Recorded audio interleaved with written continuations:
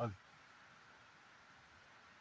ये है बुतन ग्लोरी बहुत लकी है आज बुतन ग्लोरी को देखने मिला है। आज है फोर सितंबर 2023